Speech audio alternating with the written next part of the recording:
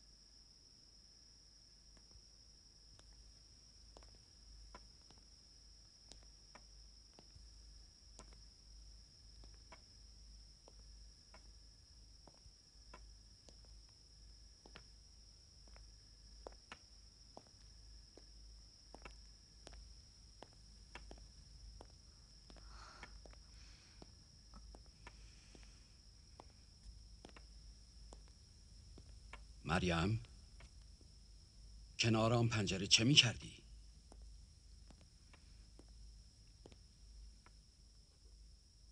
به آنجا رفته بودی که هواخواهان خود را ملاقات کنی؟ کسانی را که چشم امیدشان به دختر قدیسه معبد است؟ تو با این رفتار به ظاهر معصومانه و با این خودنمایی های ریاکارانت خودت را میان این بیچاره ها عزیز کرده ای. اما نمی‌توانی امثال مرا بفریبی. تو تصور کرده ای تمامی کاهنان این معبد و بزرگان بنی اسرائیل اسیر جادوی تو می‌شوند و آنان نیز مانند دیگران فریب این مظلوم نمایت را می‌خورند؟ معلوم می شود هنوز ما را نشناخته مغز کوچکت از درک ما علمای یهود عاجز است. تو با ما چه دشمنی داری؟ چه کینه ای از ما به دل داری دختر امران هیچ. هیچ کینه ای در دلم جا ندارد. دروغ می‌گویی. دروغ. ریاکار. به من نگاه کن.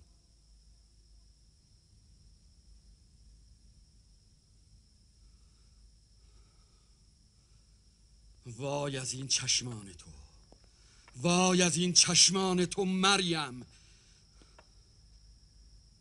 این نگاه تو از جان من چه می‌خواهد؟ خداوندا از کودکی در این معبد بودم. تمامی لذایز زندگی را بر خود حرام کردم و به هیچ چیز جز دین مقدس ما نپرداختم. در اثر شدت عبادت و خواندن تورات موهایم سپید گشته و نفسم به شماره افتاده. حالا چرا باید این دختر را مقدس و آسمانی بنامند پس من چه؟ مگر من کم سختی کشیدم مگر من کم عبادت کردم مریم چرا این همه رنجم می‌دهی؟ چرا فکر می‌کنی از من به خدا نزدیک تری؟ نه من باور نمی کنم که تو متعلق به او باشی و من و من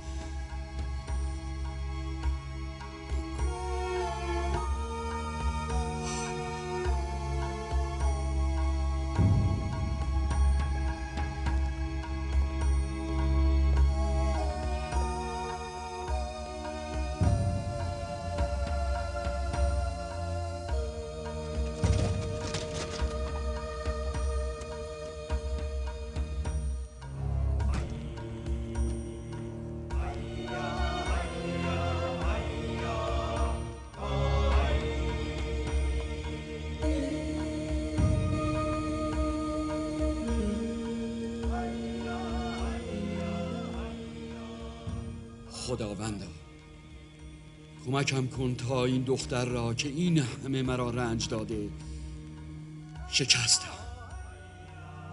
خداوندا پاداش عبادتم را سرفرازی و پیروزی قوم یهود بر تمامی دشمنانش قرار بده و در نابود کردنشان ما را موفق بده. خداوند. لذت رسوا کردن مریم را به من عطا کن.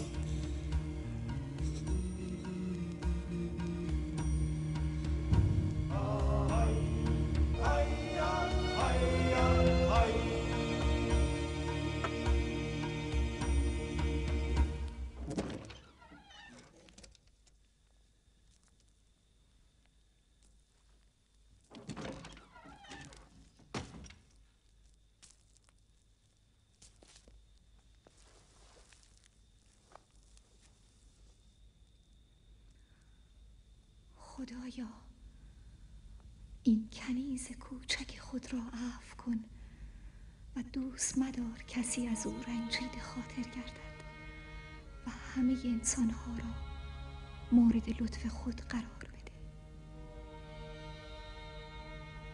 خدایا گناهکاران را در حالی که می توانی در مجازاتشان تعجیل کنی مهلت می دهی پس به من هم مهلت بده. تا اگر کسی را آزرده هم از او طلب بخشش کنم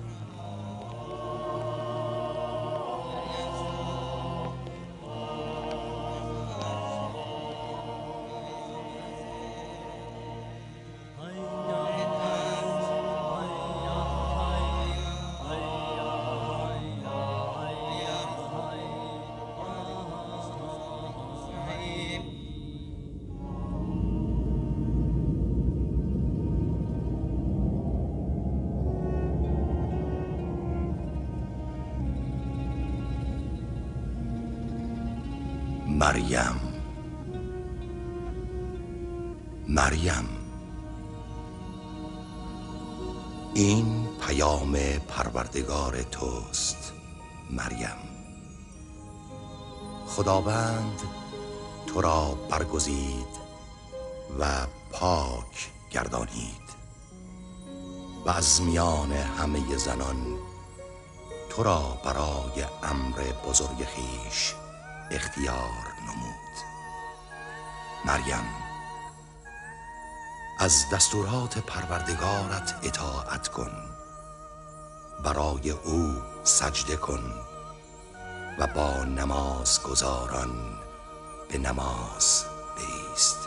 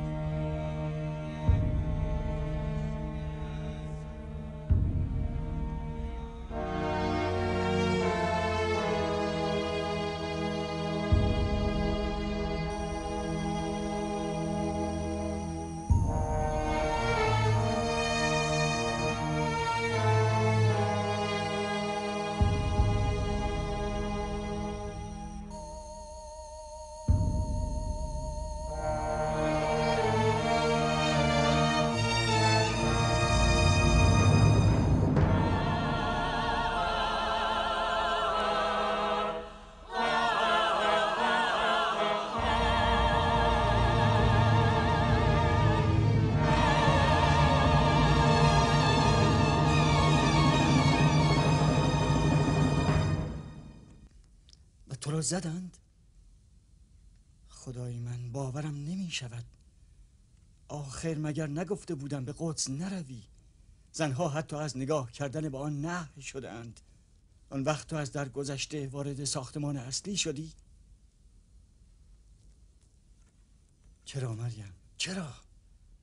اگر نمیدانی قانون معبد چیست؟ من خود چنین نخواستم پدر بزرگ. به من امر شد. امر شد؟ از سوی چه کسی؟ یک صدا. صدا می گفت خداوند تو را برگزیده. مرا به نام خواند.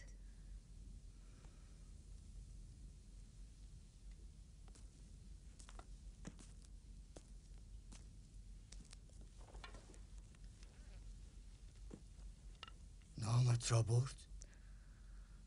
گفت ای مریم.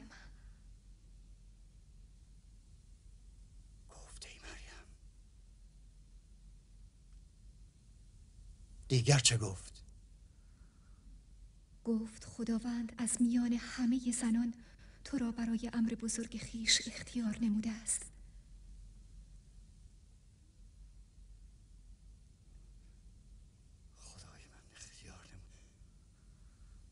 آن صدا به من گفت پروردگارم را اطاعت کنم و برای او سجده کنم و با نماز گذاران نماز. اشکالی ندارد؟ به همین سادگی؟ تو زمانی استاد شریعت ما بودی. حال چگونه میگوی اشکالی ندارد؟ به یک باره بگو مریم بیاید و جلو بیستد و ما پشت سر او نماز بگذاریم. آری ببینید کار ما به کجا رسیده که دختری وارد قدس می شود به کجا رسیده کاهنان معبد؟ با آنجا که ریاکاری به تقوا ترجیح داده می شود وای بر شما. وای بر تو که خود سرآمد ریاکارانی. تقوا گفت که دختری را به هیکل بیاورید. تقوا گفت که قانون آزاد شدگان را نقض کنید. تقوا می‌گوید که زنی بیاید با مردان نماز بگذارد. اصلا بگو یهود صلاحیت اداره معبد سلیمان را ندارد. آری هر قوم و هر نژادی که از امر خدا سرپیچی کرده خون ناحق بر زمین بریزد در زمین فساد کند حق مظلومان را پایمال کند کتاب خدا را تحریف کرده در دین او بدعت گذارد. صلاحیت اداره خانه خدا و این مکان مقدس را از دست خواهد داد. پس به خود بنگریم.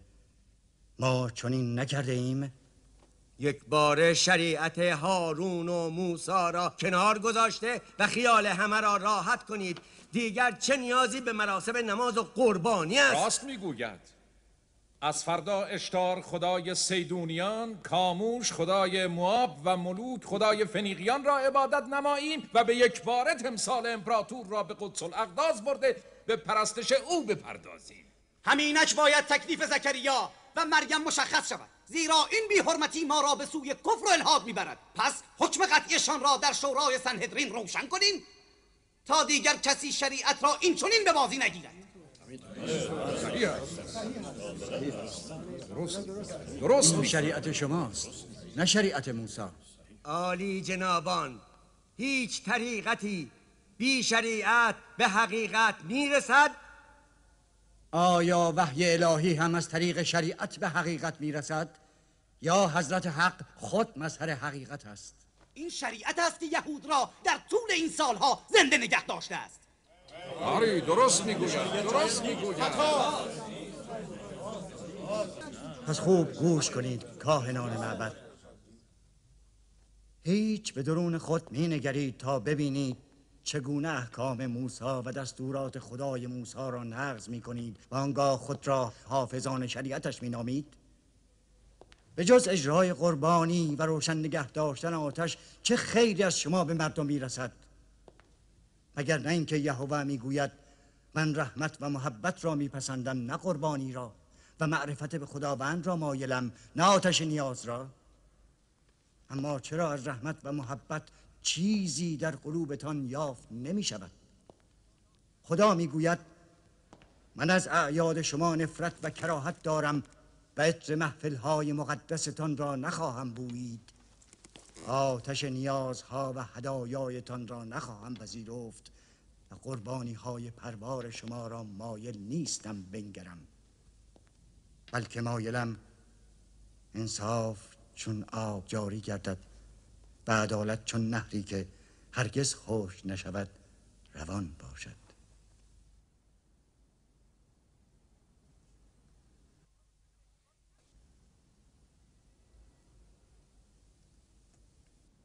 آیا در چهل سال صحرا شما برای من قربانی یا هدایای دیگری آورده اید ای خاندان بنی اسرائیل؟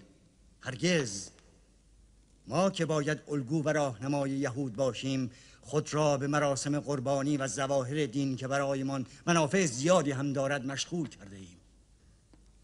اما خدا از ما چه می‌خواهد؟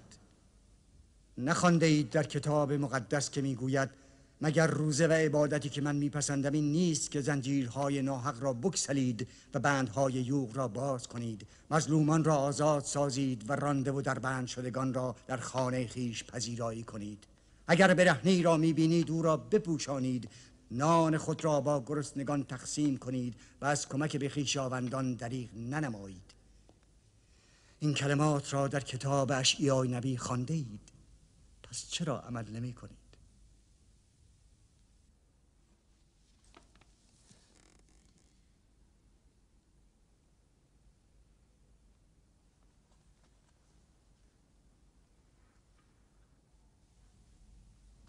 جناب زکریا آیات موثری از تورات برای ما خواندند و نصایحی نمودند که از ایشان سپاسگزاریم اینک من نیز پرسش هایی درباره حضور مریم در معبد به خصوص در قدس دارم که امیدوارم ایشان پاسخ بگویند آیا میپذیرید که همواره در کتاب مقدس سخن از بنی اسرائیل یعنی پسران اسرائیل به میان آمده نه از دختران اسرائیل؟ اگر مقصود شما قوم و قبیله است که به پدر شناخته می شوند بله آیا اما میپذیرید که ارزش یک دختر باکره در نزد ما همان حقی است که پدر دریافت می کند و در حقیقت دختر خیش را به شوهر می فروشد و شوهر حق تملک او را دارد؟ نزد شما بله ولی نزد پروردگار می‌دانید که مرد مجاز از هر قدر که ثروت او اجازه دهد همسر اختیار کند و یا از بازار کنیز و همخوابه ابتیا نماید بله اما تا چه این کار درست شما باشد؟ بهتر از هر کس می‌دانید که ورود زنان به صحن کاهنان ممنوع است و ورود به صحن با مجازات مرگ روبروست. و می‌دانید که زنان نه تنها در مراسم قربانی حق شرکت ندارند حتی ناظر بر این مراسم هم نباید من. درباره قربانی و مراسم در بله معبد آیاتی را تلاوت فرمودید. حال سوال من از شما این است. آیا از محدودیت هایی که در آیین یهود برای زنان وجود دارد اطلاع دارید یا خیر؟ اطلاع دارم. این آین یهودی که شما دنبال می کنید همه این محدودیت ها را برای زنان ایجاد می کند اما حقیقت آین موسی برای زنان شخصیت بزرگی قائل است. شما خود بهتر می دانید مردان از تربیت آنان شخصیت می آبند. پس از این محدودیت ها اطلاع دارید. آیا شما به مریم دستور دادید که در مراسم نماز شرکت کند؟ خیر. من چون این اجازه به او ندادم.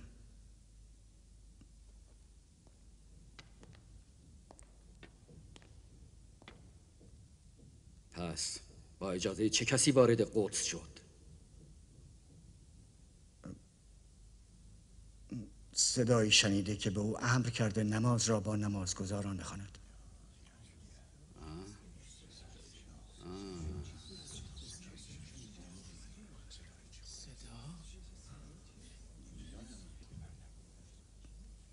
صدایی شنیده این صدایی که بوده؟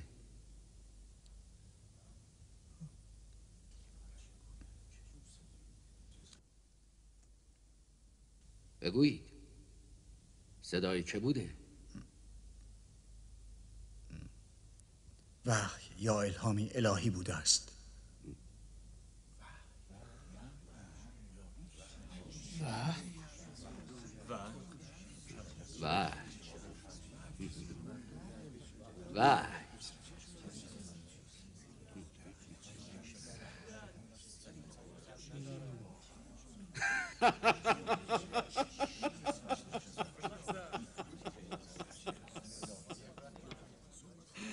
منظورتان این است که خداوند به این دخترک دستور داده. یعنی خداوند به این دخترک وحی کرده. بله بله بله. وای پناه بر خدا. میدانی چه می‌گویی؟ این چه حرفی جناب زکریا؟ شما بهتر است برای این ادعا دلیلی بیاورید تا ما بتوانیم برای قوم یهود ماوقر آنچنان که رخ داده شهر داده. صبر کنید. صبر کنید جناب افرایم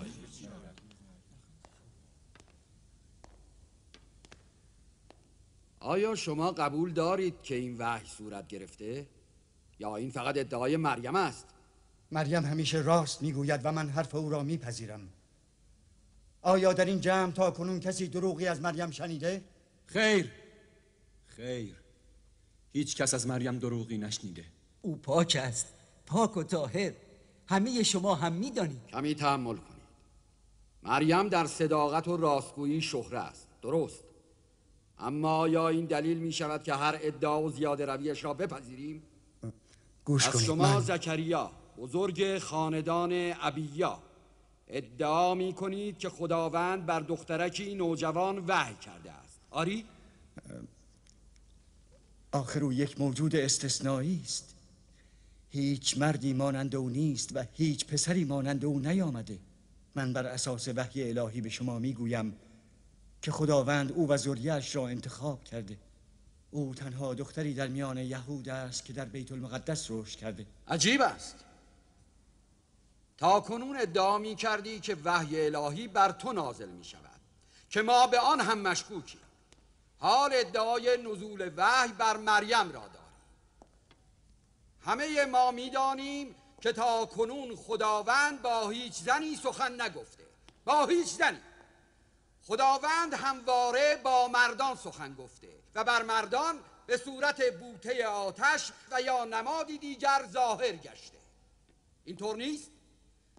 اگر هم خداوند می‌خواست در این معبد با کسی سخن بگوید فکر نمی کنید با کاهن اعظم جناب هیلل و یا یکی از کاهنان بزرگ سخن می گفت چه شده که خداوند فقط با مریم سخن گفته؟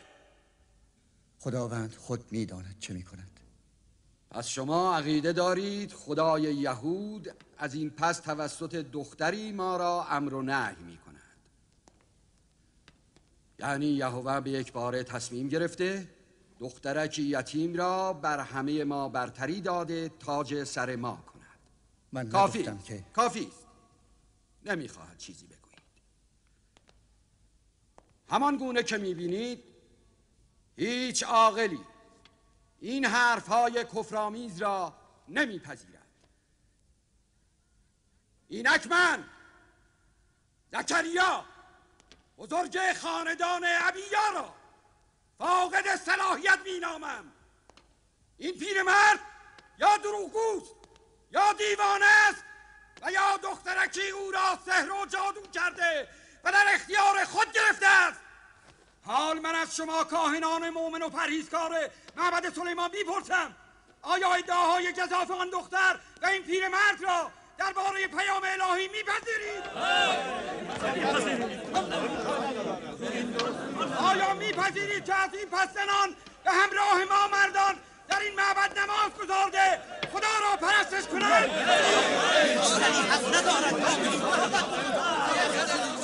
دیوانه شده. آیا قبول دارید که زکریا و مریم را باید به خاطر ادعاهای کفرامی و به دستهای خطرناکشان که اساس دین ما را زیر سوال می‌برد. و اشد مجازات رسانید باید مجازات شود. باید. باید تنبیهشان کرد این مجازاتشان است او را باید بسوزانید قبول دارید؟ به راستی مستحق مجازات حتما باید سوزانده شوند هر دو باید مجازات شوند. عالی جناب ساکت آرام باشید. آرام شوید زیاده روی نکنید. این حکم سنگینی است. نیاز به تحمل بیشتر دارد. لذا تصمیم گیری در این باره به جلسه بعدی سنهدرین موکول می شود جلسه جناب هیدر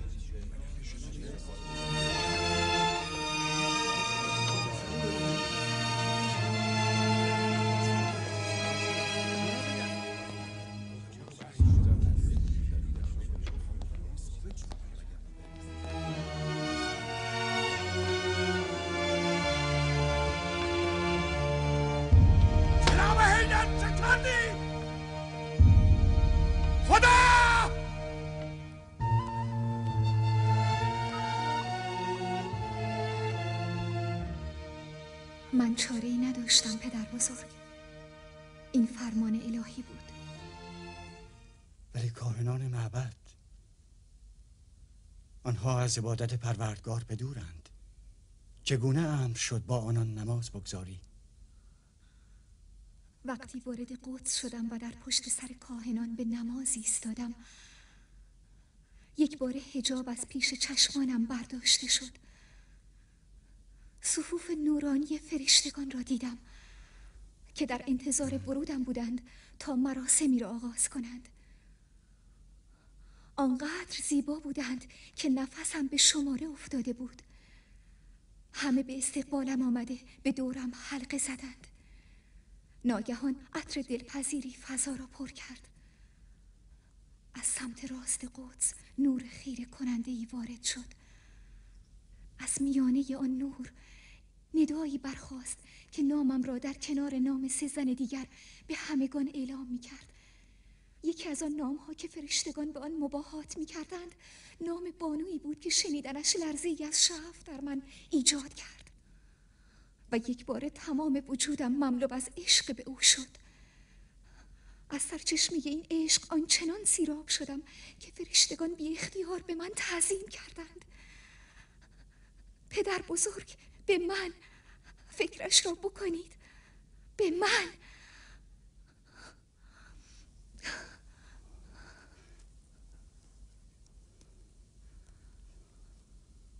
آنها مرا نیز مانند آن سه به شکیبایی بر سختی های پیش رویم فرا خواندند. سپس به همراه فرشتگان در مقابل قدس به نماز ایستادیم. چهار زن. شما همان چهار زن برگزیده عالمید. و آن بانو.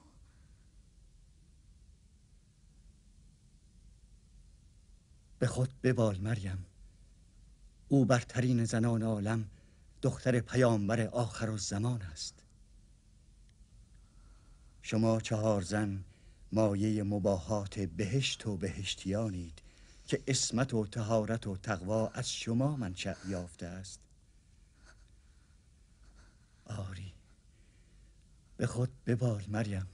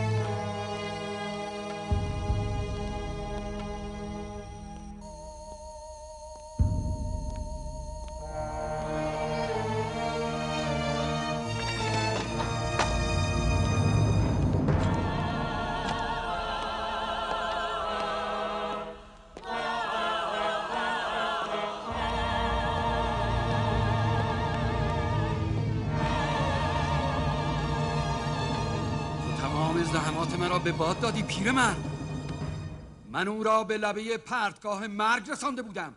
چرا مداخله کردی؟ ببینید خودمان را گول نزنیم. او به راستی پیامبر خداست.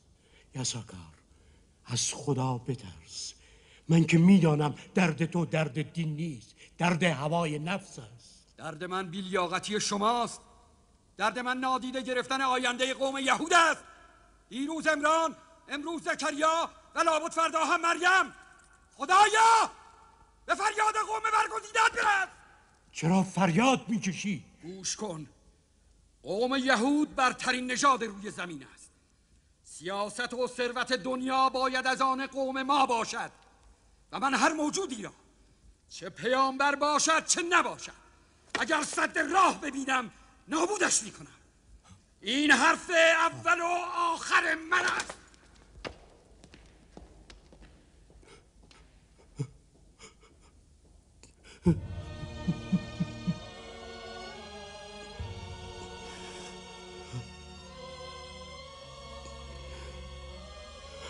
پروردگارا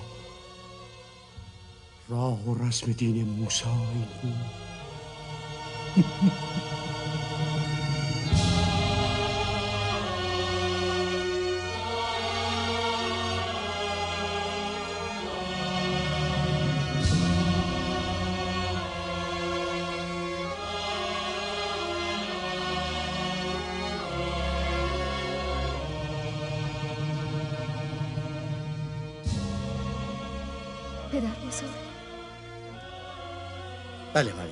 من باعث گرفتاری شما هستم پدر بزرگ. حالا چه میشه؟ نمی‌دانم. جناب زکریا!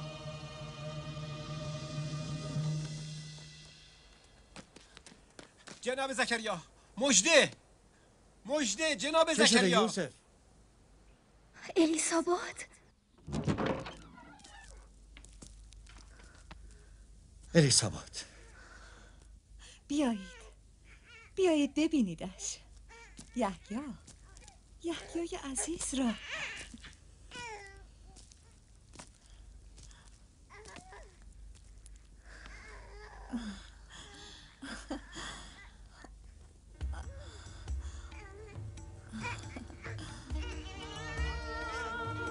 یحیی. یحیی. خدا را شکر. هرگز نمی‌توانم سپاس این نعمت بزرگ را بگذارم. او یحیاست. او موعود بنی اسرائیل را خواهد دید و او را تصدیق خواهد کرد.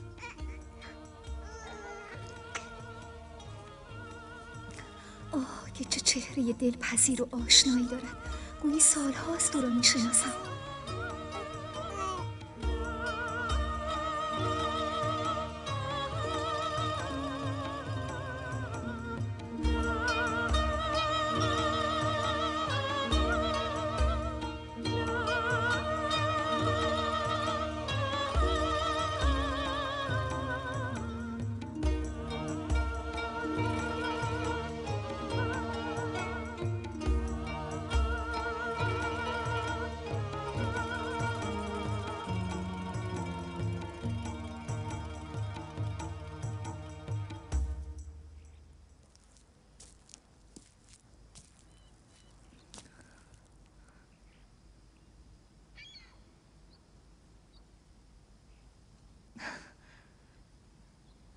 سلام بر تو. چقدر زیبایی.